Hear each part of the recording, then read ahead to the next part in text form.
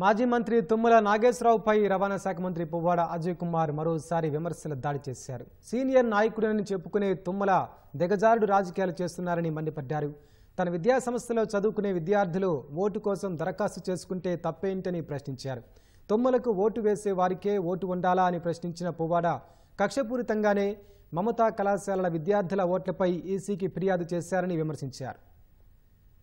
మా దగ్గర చదువుకోవడానికి వచ్చేటప్పుడు చేరే సమయంలో వాళ్ళ ఏజ్ పద్దెనిమిది ఏళ్ళు ఉంటుంది. ఆ తర్వాత వాళ్ళకి ఓటు హక్కు తెచ్చుకుంటారు. నా దగ్గరకు వచ్చి చదువుకునే వాళ్ళు ఐదున్నర సంవత్సరాల పాటు ఎంబీబీఎస్ వాళ్ళు ఇష్టపడి వాళ్ళ ఓటు వాళ్ళు ఇక్కడ ఉన్నప్పుడు వాళ్ళు చేయించుకుంటే మనం కాదంటవా? దొంగ ఓట్లు ఉన్నాయి వేల ఓట్లు ఉన్నాయి. పదిహేను వేల ఓట్ల దొంగ ఓట్లు ఉంటే ఎలక్షన్ కమిషన్ కళ్ళు మూసుకొని కూర్చుంటుంది? దానికి ఇప్పటికీ పదిహేను సార్లు కంప్లైంట్ పెట్టి తుమ్మల నాగేశ్వరరావు గారు ఏ స్థాయికి దిగజారిపోయిందంటే ఏ వాళ్ళకి ఓటు హక్కు వద్దా? అంటే నీకు ఓటేసిన వాడికే ఓటు ఉండాలా? లేకపోతే ఇంకెవడికి ఓటు ఉండొద్దా? ఇంతకన్నా అన్యాయం ఉంటుందా? అండి నాకు అర్థం కాదు. నలభై ఏళ్ళ రాజకీయ చరిత్ర ఉన్నాయన?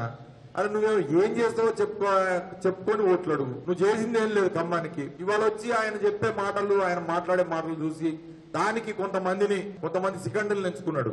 తుమ్మ చెట్టు మీద వాళ్ళ చిలకలు ఉన్నాయి కొన్ని. కోయిలలు కూస్తున్నాయి.